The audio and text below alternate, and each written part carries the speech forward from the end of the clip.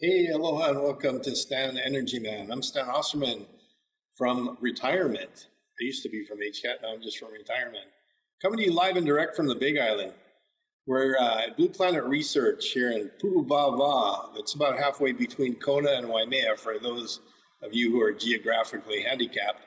Um, it's a it's a beautiful, beautiful place, about 2,600 feet above sea level, nice and cool, and really, really pretty. Getting a little bit more rain than usual. First of all, I'd like to thank everybody that came to my retirement party last Wednesday. That was a really good, good fun time, and I really appreciate all the support that I've been that I had when I was at HCAT and all the folks that showed up. It was it was really great. But today's show is really special. I've been asking Paul if we could do a show from uh, Pu'uwa'awa'a here and Blue Planet Research because it's a beautiful lab. He's the architect. He designed it, and uh, we could also call him Pastor Paul because He's the pastor of the Church of the First Element. So their motto is God's a gas, and uh, it's all about hydrogen, of course. So anyway, Paul, we, welcome to the show. Thanks for being with us. Hi, Sam. It's a pleasure as always. Thanks for having me. Hey, we had a we had a really cool background setup. We're actually in front of the lunar mission control setup that uh, Blue Planet uses uh, to control the habitat that they have on Mauna Loa um, to train uh, not, not only NASA astronauts, but international uh, astronauts um, on lunar habitat. And the, the habitat is actually a little microcosm of the system that they have set up here on the ranch, uh, which has been off the grid for, I think, about five, maybe going on six years now. Almost seven now. Wow, almost seven years. So it's a really outstanding example of uh, how to do sustainable uh, energy and how to uh, use hydrogen in the mix for your long-term storage. And uh, it's the place that I always love to bring people uh, to show them. And Paul's a, a, great host. So, Paul, give us a little bit of your background and how you got to work here at Blue Planet. Yeah, so my background, as you mentioned earlier, is architecture. And I met Hank Rogers um, in, in the realm of architecture, uh, came over to do some projects for him on the Big Island. We got into energy at some point, and I felt like energy was more interesting at the time. Uh, it fit into architecture as well. So I kind of did a transition from doing just architecture into doing more renewable energy. So I like to tell people that I'm, I'm a recovering architect and now doing a lot more electrical engineering. And uh, as, as, as Stan, I'm a, a devotee of hydrogen and want to promote hydrogen infrastructure, not only in Hawaii, but for the whole world.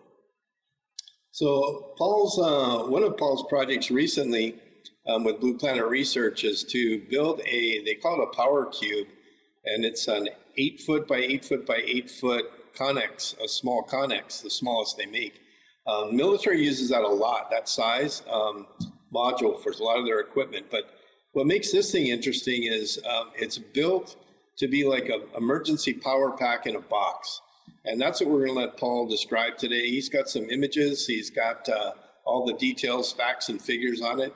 But they just deployed it to the mainland to uh, a little event that they you might have heard of called Burning Man, and uh, apparently it was a pretty big hit over there. So take it away, Paul. Sure, sure. So um, just just as a side note, uh, in Blue Planet Research, we have kind of a little subgroup, uh, kind of like a skunk works but since we're in Hawaii, it's more of a mongoose works. So we have a, a small group of people who work on special projects.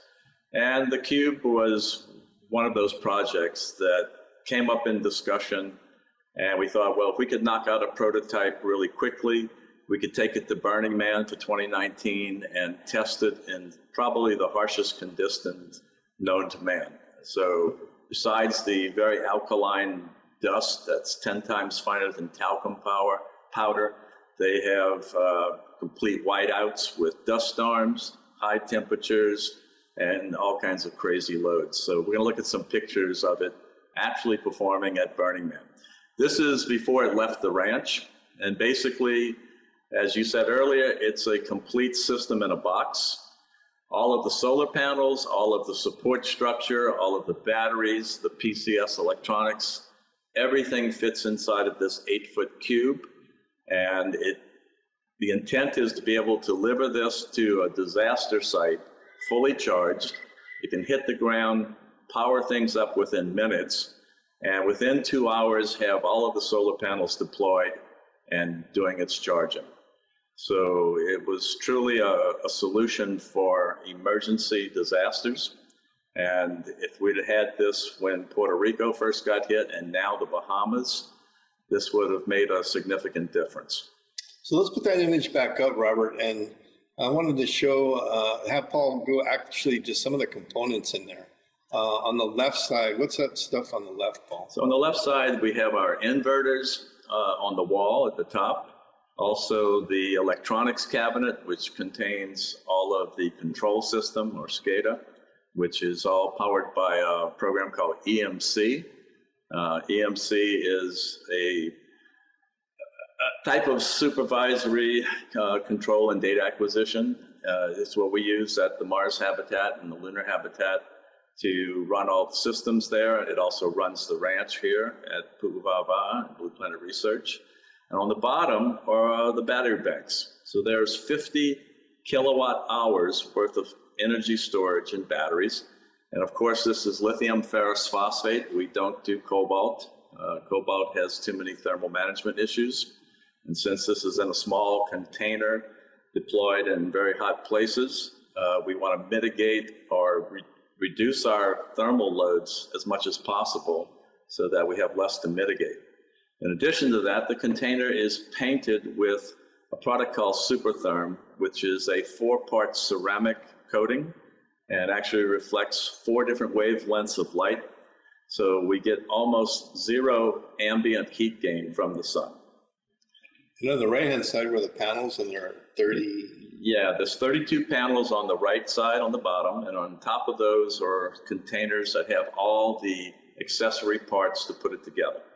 And right on top of the panels, you can see those tubes. Those are the support structure in the legs. So this is everything that you need in an 8 by 8 by 8 Connex that uh, can drop in. And we have some examples of what it powers a little bit later. But this is a really interesting setup because those 32 panels are put together on a framework that would best be described as an easy corner if you've done an easy corner tent before or awning where you got um, poles and then you have the, the brackets that just screw it or tighten down with um, wing nuts and you can just assemble it and uh, how quickly can you put it together from the container to up and running paul so it was designed for two men or two people to be able to deploy it in under two hours so from the time it hits the ground within two hours Everything is plug and play. Uh, there's an assembly procedure that's extremely simple, and it goes up really quickly. And the reason we chose, uh, as you pointed out, it's actually EMT tubing and the fittings is because it's stuff that's available just about anywhere. Um, we're basically system integrators, so we, we don't like recreating the wheel if we don't have to.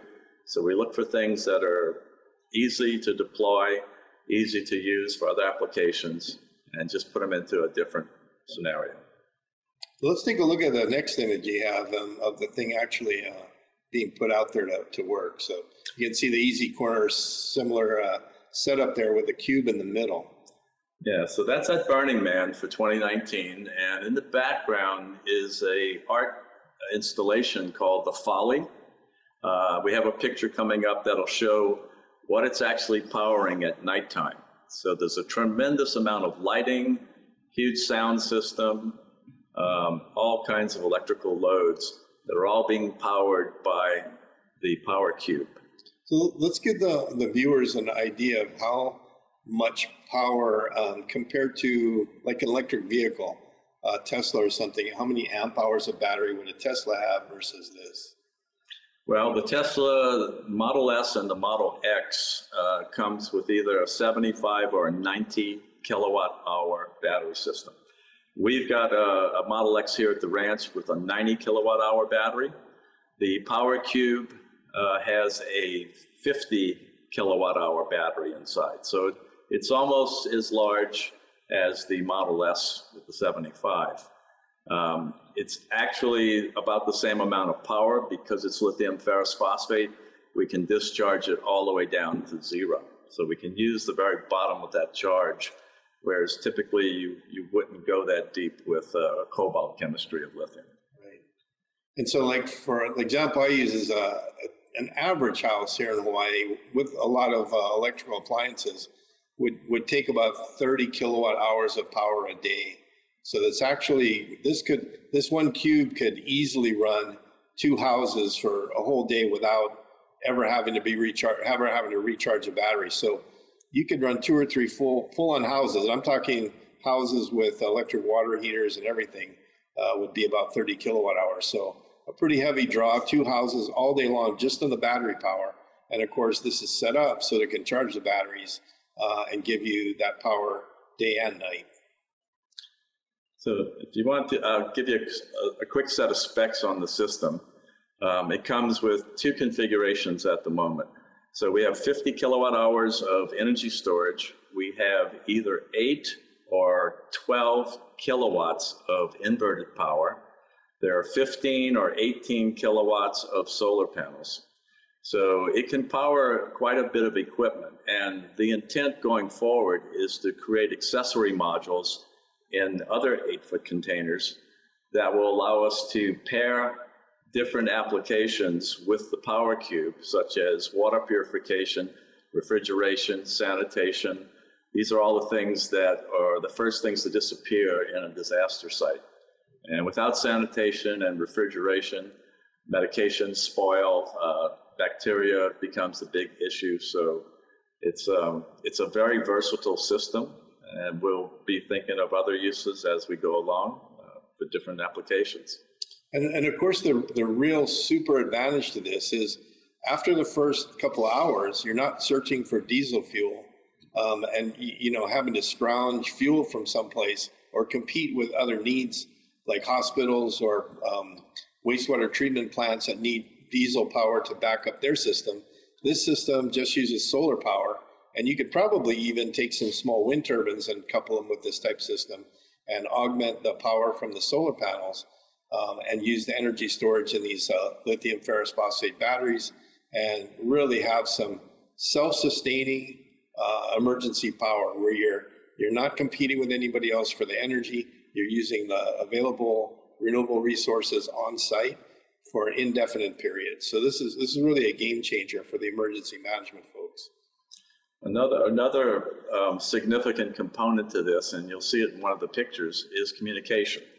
When crews arrive, uh, like from FEMA, when teams arrive on a disaster site, communication is absolutely critical, and it's one of the things that goes down first. So you lose power, you lose communication. We had a satellite link, um, and it, it can come configured with a satellite link so that you can immediately have communication for all the teams to be coordinated, uh, as well as provide a wireless mesh um, for internet types of communication and, and data transfer. So we're going to take a quick break now, and uh, we'll be back in 60 seconds and show you some more images of the Power Cube in action at Burning Man. Hello, I'm Mufi Hannemann. I want to tell you about a great show that appears on Think Tech Hawaii. It's all about tourism. In fact, we call it Tourism 101, where we talk about the issues and challenges that faces our number one industry throughout the state. We'll have some interesting guests, very informative dialogue, and allow you an opportunity to maybe learn a little bit more about why this industry is so important for our state. Great for us in the past, we need it today, and especially going forward. That's Tourism 101 on Think Tech Hawaii. Mahalo. Aloha, my name is Victoria and I'm a host at the Adventures in Small Business. This is a collaboration between U.S. Small Business Administration, Hawaii District Office, and its partners, where we showcase the stories of local entrepreneurs and small businesses, talk about how to start a business, talk about great tips for small business owners. Uh, please join us every Thursday, 11 a.m. at Think Tech Hawaii. Um, see you soon. Mahalo.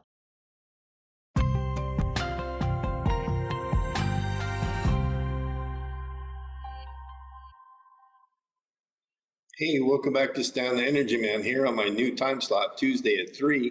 And we're uh, one of my favorite places in the world. In fact, I think God actually made this the Garden of Eden, but didn't want to tell anybody. But this is really a, a beautiful, beautiful place. And uh, if you can ever get over here to visit Paul, you really should try and do that. But um, you know, we we looked at this uh, Power Cube and the, the technical side of it. But you know, a couple months ago, I had a, a gentleman, Professor um, Hagens, Nate Hagens from uh, Minnesota, I believe, and he he introduced me to a concept called energy blindness. And I, I think that people have, have really kind of lost track how much energy things use, whether it's their cars, their electric cars, their gasoline cars, or their houses. And that's why I, I use that 30 kilowatt hour analogy to talk about the batteries. But it's really hard to get the concept of how much power is put out by this cube if you don't have a good picture of, what energy really costs and you're not energy blind. So that's why I asked Paul to go into a little bit more detail on that. So we've got some Im- images coming up that really kind of bring that home. So I'll turn it back over to Paul. Yeah, so we have a slide at nighttime, a couple of slides at nighttime, showing what was actually being powered by the cube. So this is the art installation called the Folly. It, um, I don't have the exact number of lights, but it has a tremendous amount of lighting as well as sound system, sound equipment. They even have a large windmill that is powered by an electric motor. And it kind of looks like a Dutch windmill, uh, just as a piece of, of mobile art. And uh, you can see right there that this is all being powered all night long, uh, and they go all night until the sun comes back up. So the cube was taking care of all of this. I think there's another slide. Well, this is uh, showing the, the reverse engineering of alien technology. Actually, it's, uh, it, it doesn't take alien to actually operate this. It's extremely simple. In fact, it's pretty much automated completely, but it has all the controls built in to be able to control the system, log it, troubleshoot, do anything you need to, and even recover it from a black start uh, very easily. And only in Burning Man when you get an alien with a NASA flight suit on. So I think there was another image, Robert, that um, showed the uh, cube in the desert during a dust storm or a sandstorm, which is, you know, that's that's okay. the kind of environment that you'd uh, you'd have a hard time generating power um, in an emergency. So, what we what we found was that just like at the Mars Hab, which is sometimes in the clouds, as long as the sun is actually shining, you get a lot of ambient scattered light and reflection off the particles. Now, the powder at, at Black Rock is 10 times finer than talc. Um, this is actually just the beginning or very moderate dust storm. There are many times when visibility drops to within a few feet, and you literally can't go anywhere. You have to stay still or be moving at a very slow pace so you don't walk into something. But even with the panels being covered up by this kind of dust, they were still able to actually charge uh, fully. And the wind loading conditions were one of the things we really wanted to test because it gets very windy. Uh, there were gusts of up to 60 miles an hour at times out there. And because the panels are flat, they're feathered into the wind, and none of the panels even moved. It, it really, really worked well with flying colors. So that's just shy of hurricane speed winds. So uh, hurricane speed winds start at 75 miles an hour. So uh, that's that's pretty impressive. And you know, Paul, that the the so, uh, lithium iron phosphate batteries are super. I've, I've, really admired them here, especially the fact that they don't have any thermal issues like lithium cobalt. But you know, our favorite topic is hydrogen, and could you pair this system uh, to use any um, basically curtailed power from your solar to make hydrogen for long-term storage? Yeah, absolutely. It's one of the accessory applications I forgot to mention earlier, but uh, one module or one cubed accessory could be an electrolyzer that could be producing fuel for either running equipment through fuel cells or actually using it as a cooking fuel for cooking or sterilizing instruments and, and water. Um, so there's definitely a, an application to use hydrogen in conjunction with this power source. Yeah, so even if you maxed out the batteries and they're fully charged and you still got daylight producing electricity from the solar panels, You could couple this with an electrolyzer to make hydrogen and use that stored hydrogen, like Paul says, for cooking, sterilization, uh, vehicles. If you have vehicles that run hydrogen fuel cells, uh, all kind of applications. And really, we're we're trying to encourage the grid here in Hawaii. Um, we've got a, a, goal of being off fossil fuels with our utility uh, utility grid by 2045. And the reality is that by 2045, um, you can't just store all that energy in batteries. I mean, we have to realize that fossil fuels are very energy dense, and we have millions of gallons of fuel stored up in tanks. And to replace all that stored energy with hydrogen, it's it's going to take uh, or battery power even. You couldn't even do it with batteries. So we're looking at hydrogen to potentially store all that long term and high power uh, energy.